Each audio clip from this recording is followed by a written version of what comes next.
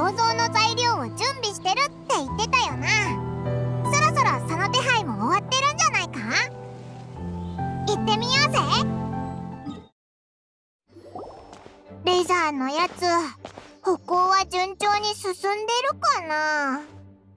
スクローズ様お待ちください。先輩パイモンさん彼女を止めるのを手伝ってください。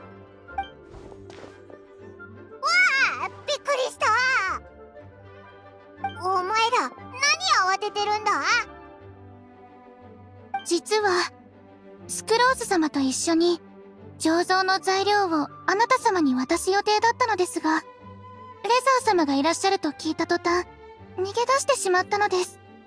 わ私は知らない人と関わるのが苦手だから材料を無事に渡せればそれでいいの。そんなのいけません。せっかく2人で頑張ったのですから一緒に顔を出さないと。スクローズ様の手柄を横取りすることになってしまいます。手柄とかそういうのはいいから。つまり騎士団が用意した材料って生物錬金で作ったものなのか？はい。甘さ4倍の夕暮れの実です。甘さ4倍？普通の甘さじゃダメなのか？それにどうして夕暮れの実なんだ？それを説明するには最初からお話しする必要があります。私はお酒の香りが好きでお酒を作ることについてもある程度勉強と経験を積んできました。結論から申し上げますと原材料の甘みはとても重要な要素なのです。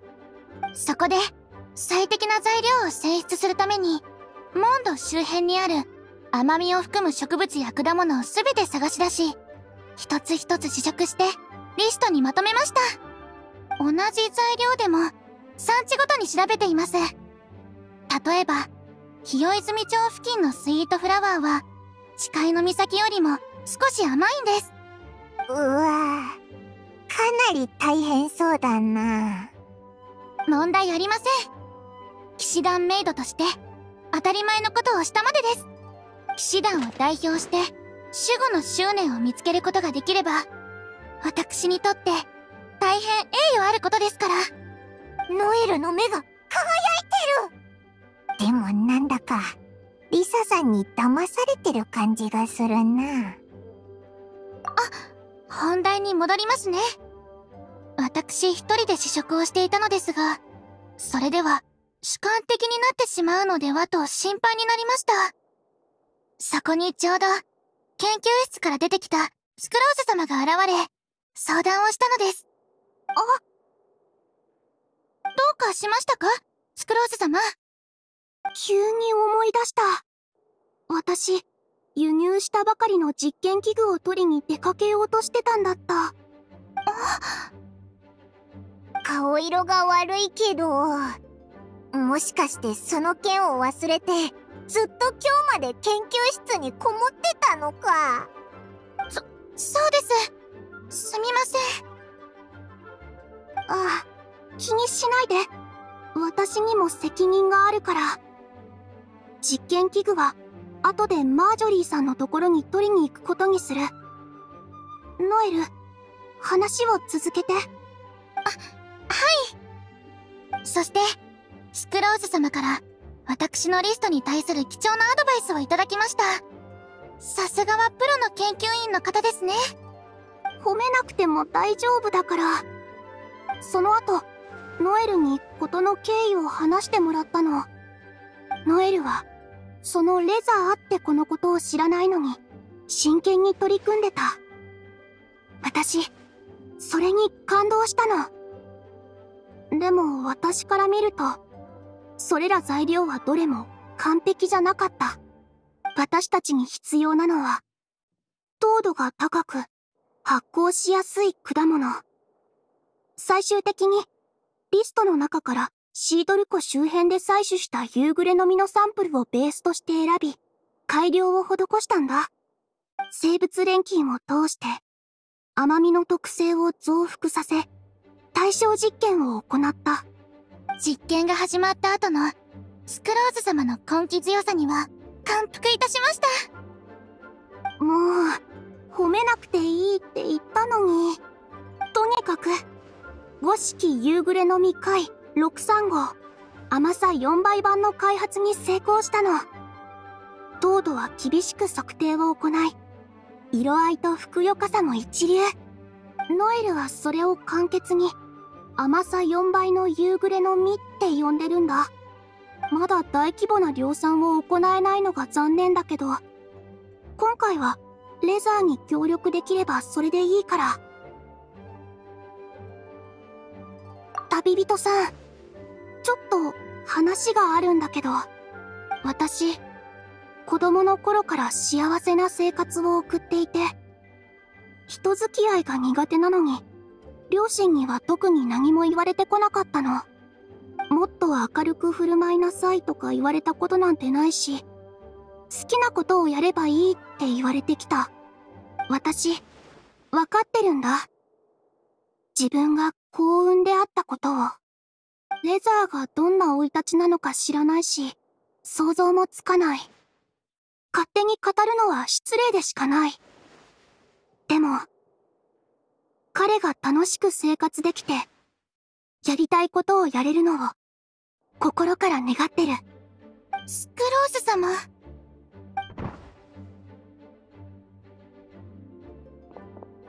ごめん。また遅くなった。師匠、時間見るの忘れた。ずっと喋ってた。気にすんなオイラたちも話してたところだからってなんだか同じことをつい最近も言ったような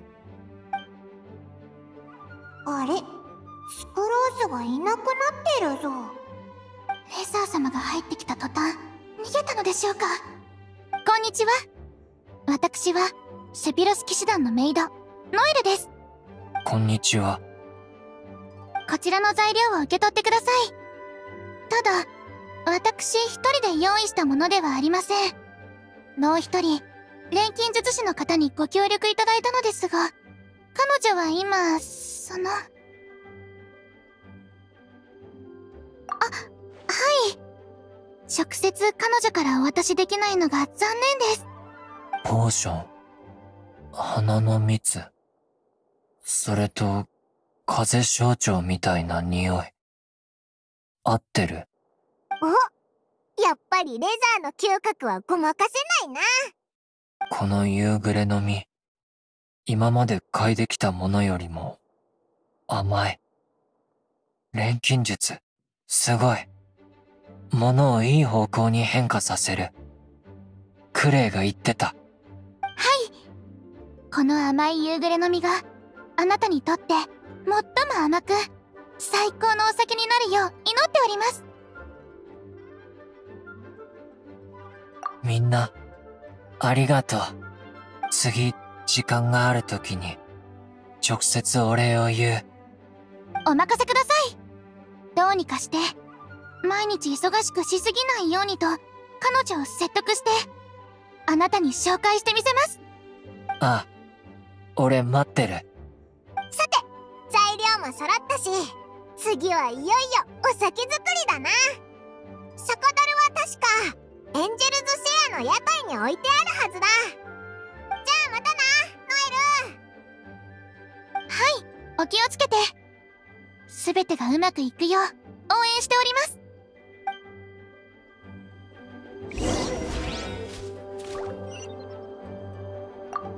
回の任務も無事終わりましたね。あスクローズ様の実験器具運ぶのを手伝わないと。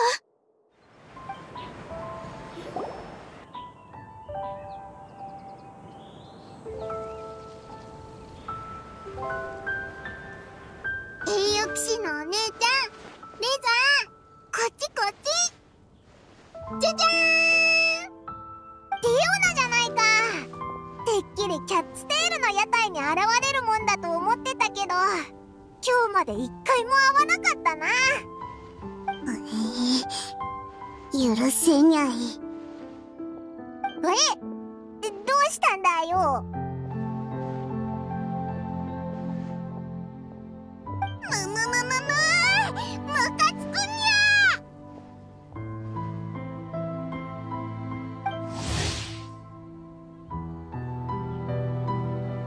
の仕業だってクレイちゃんから聞いたにゃレザーはパパの友達で頼れるいい人なのによくもお酒に興味を持たせてくれたにゃ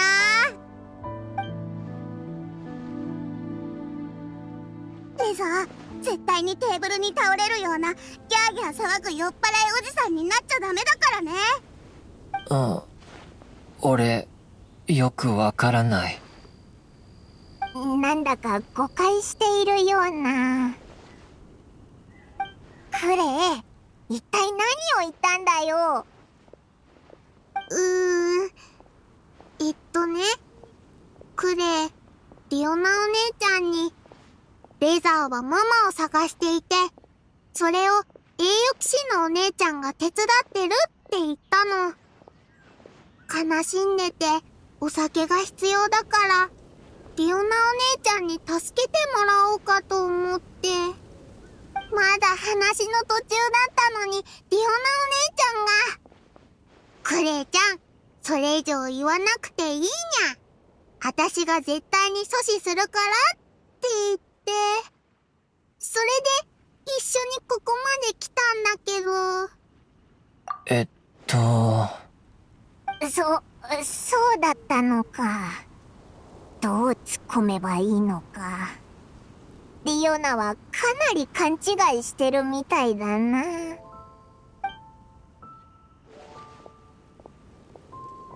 つまり、レザーは両親のことを知るために、そのお酒を再現しようとしてるってこと？うい私を騙そうとしてないよね。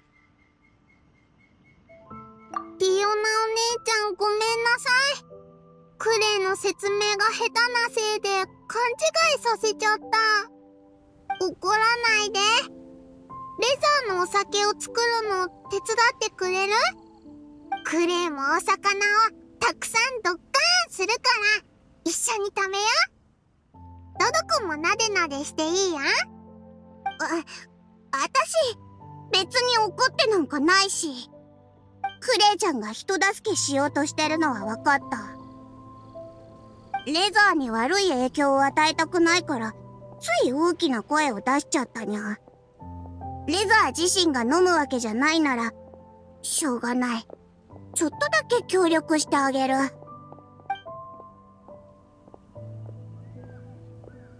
でも先に言っておくけど、私が普段扱ってるお酒は、醸造が終わっているものなの。いきなり原材料から作れって言われても、どうなるかわからないから。やったーリオナお姉ちゃんはいい人だね。あ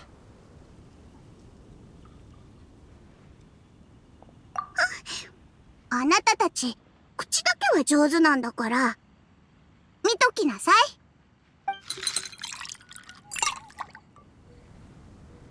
い。よし、できたみたいだ。いう間だったな。次は、これを置いておく場所を探さないと。焦らず待つのだ。風が吹き波が立つまで。うん。つまり、風が吹くところに置けってことか？あ、風立ちの地はどうだ？風が強い。確かにモンドで風といえば、あそこが真っ先に思い浮かぶな。ワクワク。クレイも一緒に行く。私はバカパパの監視をしないといけないから、遠慮しとく。クレイちゃん、また今度一緒に遊ぼうね。うん？約束だよ。奇遇だね。君たちも来たんだ。銀融野郎どうしてここに？目が覚めたらいい香りが漂っててね。その果実の甘い香りをたどったらここに着いたんだ。うんうん。このお酒に使ってる果実とっても甘い匂いがするよね。クレイもそう思った。実は大事なことを思い出したんだ。君たちがお酒の入った酒樽を地面に埋める前にもう一つやっておかなきゃいけないことがあってねまだ何か足りないの？レザボトルに入っていた半分のサウザンドウィンドブリューの匂いを覚えてる？少し苦味が混じってたでしょ？ああ、あった。そう。その苦味が結構大事でね。つまり、これのことさ。タンポポの種？ダンディライオン種はもちろん知ってるよね。モンド人にとって、風は魂を連れ戻し、記憶を保存しておくことができるもの。タンポポの種は、その年の最初の風を集めてくる、自然の宝石のようなものなんだ。それを酒樽に入れることで、その当時の風も保存したことになる。こうやって、ビシュはその瞬間を記憶し、永遠に留めてくれるんだ。つまり、サウザンドウィンドブリューは、最初のダンディライオン種なんだよ。おおすごいクレイたちのことがお酒に記憶さどうして決まった味がないかというと、入れる材料は完全に自由だからだね。あ、おう。れるんだどうしたのレザーパパとママのお酒。タンポポの種以外、よくわからない。俺のお酒には、友達との感情が、たくさん。パパとママ。やっぱりよくわからない。でも、俺にはみんながいる。みんな、頑張ってる。ファルカ、師匠、クレイ、ベネット、茶色の猫おじさん、冷たいお姉さん、笑うふりをする大人の人、グレーの硬そうな女の子、風象徴の匂いの人、猫おじさんの娘、緑の詩人、パイモン、旅人、みんな、覚えてる。お酒作るの、難しい。みんながいなければ、このお酒は作れない。みんなと一緒に立ち向かう困難は、困難じゃない。俺、嬉しい。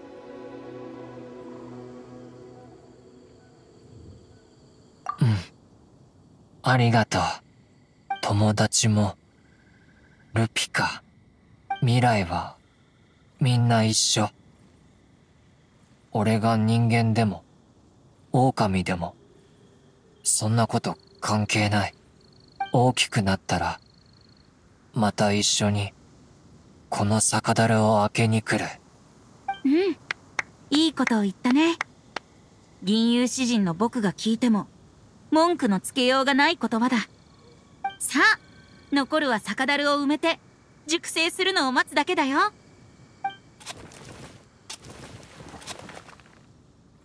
うやく終わったな。おいらお祝いしたい気分になってきたぞ。確か明日はブリーズデイ当日だったよな。わあ風神様が帰ってくるね。そういえばそうだったね。まだ歌謡を全部覚えきれていないから、僕は戻って這い上げの儀の準備をするよ。じゃあみんな、また明日。今夜はぐっすりと寝て、明日の朝は爽やかな風の音に耳を澄ますんだ。そして、最高の銀融詩人の姿を見に来てね。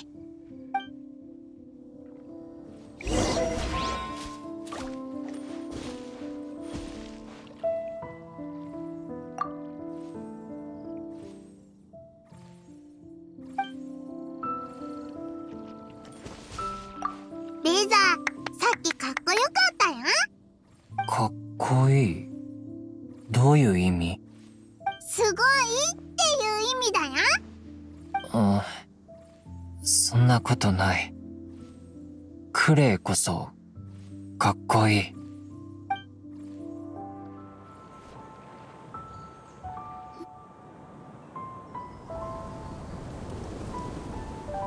すごい人だかりだ。みんな風神を迎えに来たんだな。あれ？なんかエンジェルズシェアの屋台に人が集まってるぞ。無流祭で売られる最高品質のお酒は灰上げの儀で風神様にお飲みいただいてから販売するのが通例なの。だからみんな並んでいるのよ。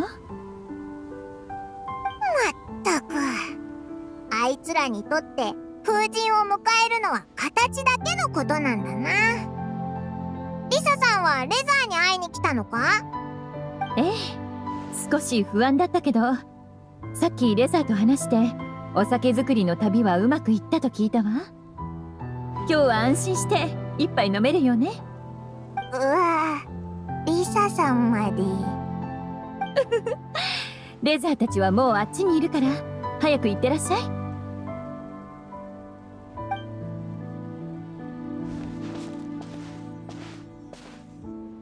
お来たな。うわこの大量のボトルどうしたんだよ。事情を知らなかったらてっきりお酒を売る屋台でもやってるのかと思ったぞ。全部レザーのために用意したんだ。今日はみんなが風神様を迎えてお酒を飲んでもらう日だってママが言ってた。風神様に喜んでもらえたら風になってみんなを祝福してくれるんだよね。クレイたち風神様を喜ばせてレザーを助けてもらうんだ栄誉騎士のお姉ちゃん見て見て。これアルベドお兄ちゃんが貸してくれたな。このボトルは親父たちから集めたんだ途中で割らずに済んでよかったよ。一応見栄えを良くするためだけのものだから終わったら返す必要があるんだけどな。ママが言ってた。風神様はお酒にとっても強くてその気になればシードルクを一気に飲み干せるんだって。これとレザーのパパとママが残したお酒で足りるかな？あ緑の詩人。古本やあみんな。この場所に立つことができて僕はとても光栄に思うよ。今日はセピロス騎士団の代理団長ジンさんに招かれ歌謡を披露することになった。サウザンドウィンドブリューをね。僕の最高の歌謡を。風とここにいるみんなに捧げよう。これらを樽に封印し焦らず待つのだ。風が吹き波が立つまで。ビッシュのボトルをまずローで封じ南風は心地よく北風はたける。ビッシュはどんな味か。モンドの名。自由の夢。何を発行させビッシュとなったのか。探求する勇気。優しさに満ちた慈愛。守護の執念はありし日のまま。歌いを掲げる旋風とともに。酸味ある雫は甘くなり粗雑な樽は潤わん。焦らず待つのだ。風が吹き波が立つまで。酒樽には何がある？黄金色の小麦と生い茂る緑。樽から注ぎしビシュそこに何が漂う？風鈴の音色と万古の長空。我々はビシュを手に歌う。焦らず待つのだ風が吹き波が立つまで。旋風が運びし趣向とはライアーにまつわる物語と今宵の美しき夢。友よ。共に杯を掲げよう。風神に感謝を。風神に感謝をでも風が吹いてない。クレイ悲しむな。レザーどうしてなの？風神様が帰ってこないのはクレイたちが用意したお酒が気に入らないから？そんなことないぞ！クレイは知らないかもしれないけど風神様は風以外のものにも変身できるんだ。きっと今年は別の何かに変身して帰ってきたんだと思う。え？本当に？もしかしてボンボンになったのかな？おいよしボンボンだな。聞こえたか？風神。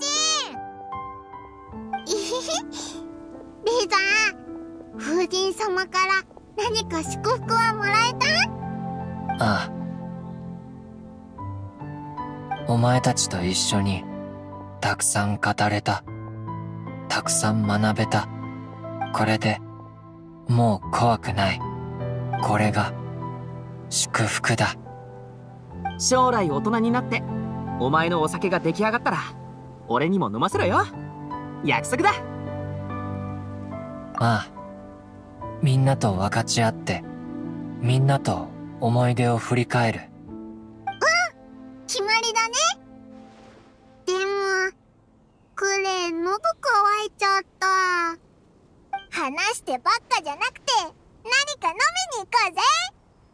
そういえばエンジェルズシアの屋台で売ってる新商品バケーションサイダーがうまいらしいぞ飲みたい飲みたいああ。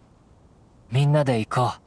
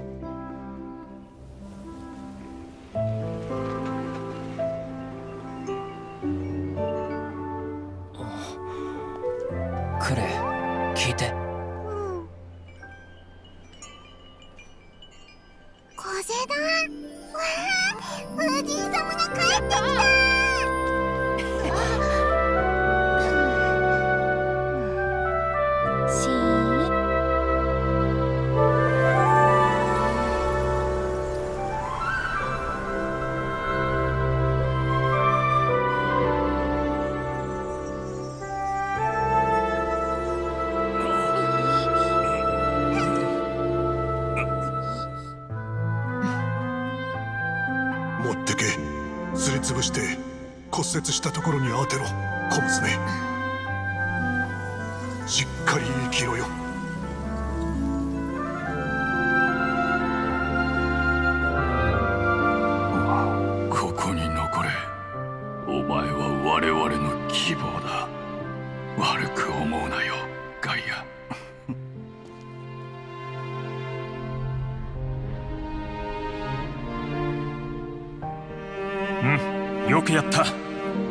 すが我が息子。お前はいつだって私の誇りだ。